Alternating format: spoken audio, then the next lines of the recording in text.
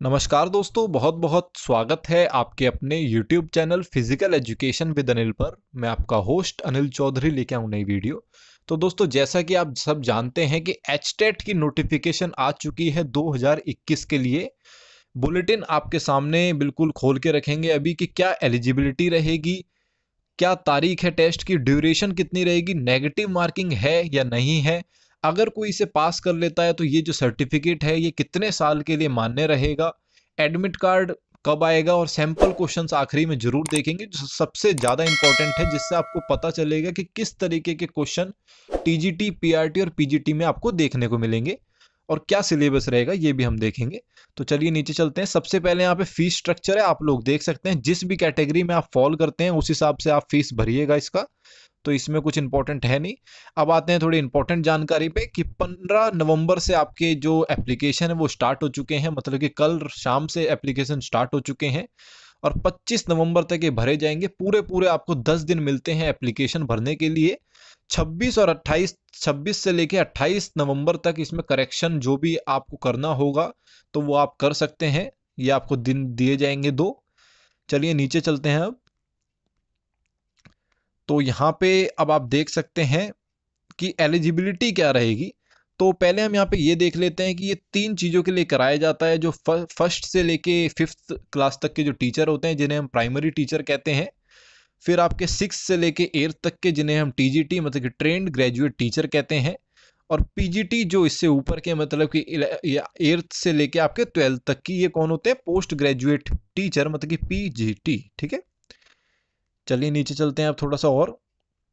तो ये यहाँ पे प्राइमरी टीचर की क्वालिफिकेशन दे रखी है। इसमें मोटा मोटा आपके पास ट्वेल्थ होनी चाहिए और साथ में डिप्लोमा होना चाहिए, दो साल का आपका। और आप फाइनल ईयर में भी अगर आप हो तो आप इसको अप्लाई कर सकते हो। चाहे आप फोर ईयर का जैसे बी कर रहे हैं और फाइनल ईयर में तो आप इसको अप्लाई कर सकते हो।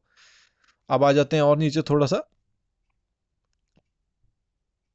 तो ये टीजीटी का आ गया आपका। जैसे टीजीटी में मैं आपको फ़िज़िकल एजुकेशन का मेनली दिखा देता हूँ, क्योंकि सारे व्यूअर्स हमारे फ़िज़िकल एजुकेशन के ही हैं ज़्यादातर। उससे पहले मैं आपको बताना चाहूँगा कि अगर आप हमारे व्हाट्सएप पेड ग्रुप से जुड़ना चाहते हैं, हमारे साथ तैयारी करना चाहते हैं तो हमारा पेड ग्रुप 20 नवंबर से स्टार्ट हो रहा है।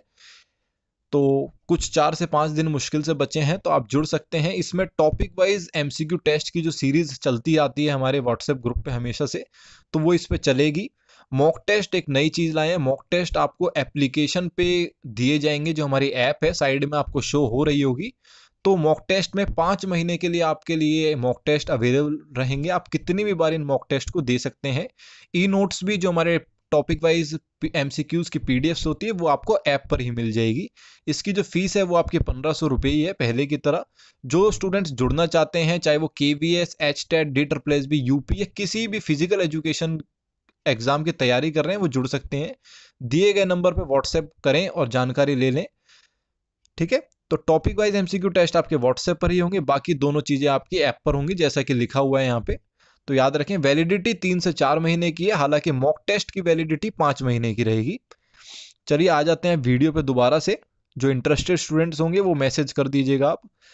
अब टीजीटी फ़िज़िकल एजुकेशन में कौन कौन अप्लाई कर सकता है, जिन्होंने डीपी एड कर रखी है या बीपी एड कर रखी है, या वो फाइनल ईयर में है अपने दोनों के, ठीक है? तो वो आपका अप्लाई कर सकते हैं। मैं आ जाता हूँ थोड़ा सा नीचे। पीजीटी में आपको पता ही होगा एम या एमए वाले स्टूडेंट्स इसको कर सकते हैं। अब थोड़ा सा इंपॉर्टेंट जानकारी की तरफ़ चलते हैं यहाँ पे दोस्तों। तो अब आ जाते हैं डेट क्या है स्केड्यूल क्या है? तो स्केड्यूल आपके सामने है 18 से आपका 18 और 19 दिसंबर को ये पेपर होगा और 150 मिनट का ये पेपर होगा और इसमें कितने क्वेश्चंस आएँगे? तो 150 क्वेश्चन आएँगे इसमें, ठीक है? याद रखिएगा 150 क्वेश्चन आएँगे। अभी मैं बताऊँगा कि किस पार्ट से कितने क्वेश्चन आएँगे और यहाँ पे मैं एक इंपॉर्टेंट चीज़ आप सभी को बता दूँ कि यहाँ पे नेगेटिव मार्किंग नहीं है, ठीक है? तो नेगेटिव मार्किंग नहीं है। आप सारे के सारे क्वेश्चन अटेम्प्ट करके आना। क्योंकि जितने क्वेश्चन चाहे आपके तुक्के से सही हो जाएँगे तो आपके मार्क्स लगेंगे। क्योंकि नेगेटिव मार्किंग नहीं है तो आप तुक्के भी अच्छे से उसको अप्लाई करके आना। कोई क्वेश्चन छोड़ना नहीं है यहाँ पे, ठीक है?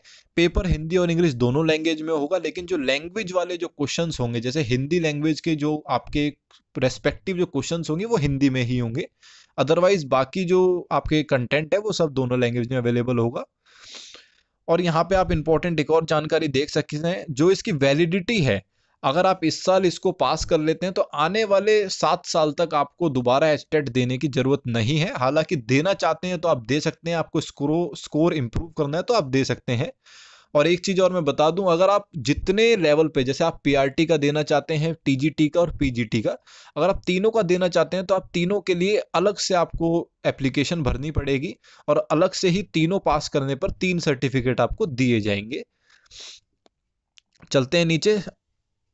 तो प्रोसीजर आपके सामने है, मैं साइट का जो लिंक है वो नीचे डिस्क्रिप्शन में डाल दूँगा, आप ज़रूर देख लीजिएगा उसको, ठीक है? चलिए आ जाइए नीचे थोड़ा सा अब यहाँ पे मोड ऑफ़ एग्जामिनेशन आप देख सकते हैं मोड ऑफ़ एग्जामिनेशन कौन सा है? कन्वेंशनल टाइप है जो हमेशा से चलता आ रहा है हमारा, जो पेन पेपर वाला होता है, गोले उसमें भरने होते हैं तो वही तरीका है, ठीक है? एडमिट कार्ड आपका ऑनलाइन आएगा बाई पोस्ट नहीं आएगा, यही चीज़ यहाँ पे लिखी हुई है। और नीचे चलते हैं, आपकी थोड़ी सी इंफॉर्मेशन इंपॉर्टेंट देख लेते हैं, अब क्या है यहाँ पे।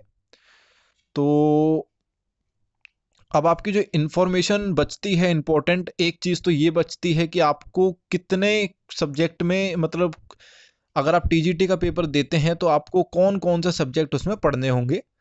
तो आप एक सेकंड दीजिए मेरे को, मैं आपको अभी आपको खोल के दिखाता हूँ, क्योंकि पीडीएफ बहुत बड़ी है तो थोड़ा सा टाइम लग रहा है यहाँ पे।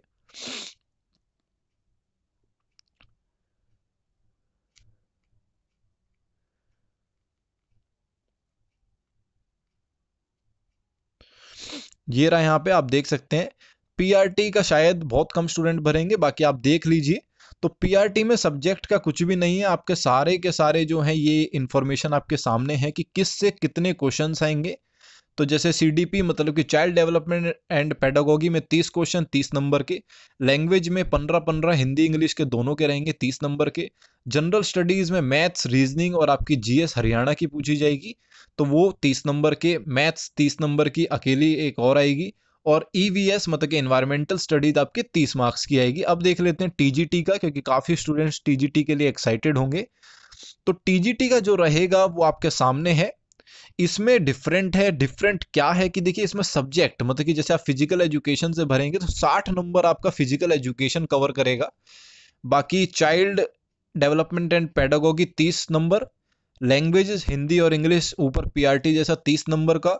जनरल स्टडीज़ में आपके तीन चीज़ें होंगी मैथ्स रीजनिंग और आपकी जीके हरियाणा की रहेगी, ठीक है? और इसमें जो मिनिमम क्राइटेरिया होगा कि कौन एलिजिबल होगा मतलब कि कौन क्वालिफाई माना जाएगा तो वो आपको यहाँ पे दे रखा है, आप देख सकते हैं अच्छे से। देखिए, जो नॉर्मल कैटेगरी में है, ना वो शेड्यूल कास्ट में है, ना कोई डिफरेंटली एबल्ड है फिजिकली चैलेंज्ड है मतलब जनरल के हो गए, आपके ओबीसी के हो गए ठीक है? तो वो सारे कहाँ पे जाएँगे? उनको नब्बे नंबर लाने ज़रूरी हैं। तो याद रखिए, डेढ़ सौ में से अगर नब्बे से एक नंबर भी कम रहता है तो आप एच टेट में पास नहीं है। इसी तरीके से नीचे दे रखा है अलग अलग कैटेगरी के लिए। ये आप देख लीजिएगा जैसे एससी के हैं जो आपके, वो हरियाणा से जो हैं एस में, वो 82 नंबर पर ही से क्वालिफाई कर सकते हैं। और जो बाहर के हैं, फिर चाहे वो एस सी हो, चाहे वो फिजिकली चैलेंज्ड हो, उनको नब्बे नंबर लाने ही पड़ेंगे। यही आपका पीजीटी में है। आप देख सकते हैं यहाँ पे पीजीटी का भी मैं दिखा देता हूँ। ये आपका पीजीटी सेम है। नो नेगेटिव मार्किंग आपके सामने लिखा हुआ है। अब आ जाते हैं आपके सैंपल पेपर पर। फ़ोटो और आप देख लीजिएगा ये थोड़ा सा। मैं ये जो पीडीएफ है, ये टेलीग्राम चैनल पे हमारे डाल दूँगा। आप टेलीग्राम चैनल से लिंक आप ले लेना और इसको देख लेना। बाकी ऐप पर भी आपको हमारी मिल जाएगा। चलिए नीचे आ जाते हैं अब यहाँ पे। ये हमारे सैंपल क्वेश्चंस हैं कि किस तरीके के क्वेश्चंस आएँगे आपके। तो पीआरटी में कुछ इस लेवल के क्वेश्चंस आएँगे चाइल्ड डेवलपमेंट एंड पेडागोगी में आप देख सकते हैं। इसकी पीडीएफ पूरी आपको मिल जाएगी। जैसे इंग्लिश में क्वेश्चन है if you reach the school late comma your principal dash angry तो चार ऑप्शन है, आपको एक बताना होगा इसमें। इसी तरीके से आपके सारे होंगे, ठीक है? अब आ जाते हैं टीजीटी में, क्योंकि टीजीटी के काफ़ी स्टूडेंट्स होंगे इसमें तो टीजीटी में मैं दिखा देता हूँ आपको। इंग्लिश के क्वेश्चंस आपके सामने हैं सिंपल क्वेश्चन जैसे आपके सामने की दे रखा है कि I dash received a letter from my grandfather तो कुछ नहीं है रिसीव की जो स्पेलिंग है, उसके ऊपर बात चली है, या फिर रिसीव की कौन सी स्पेलिंग सही है, वो आपको डालनी है। बाकी फ़िज़िकल एजुकेशन के कैसे क्वेश्चन आते हैं, जैसे ये यहाँ पे क्वेश्चन है कि isotonic exercises are related to तो आइसोटोनिक एक्सरसाइज किससे? स्ट्रेंथ से रिलेटेड है, सभी लोग जानते हैं।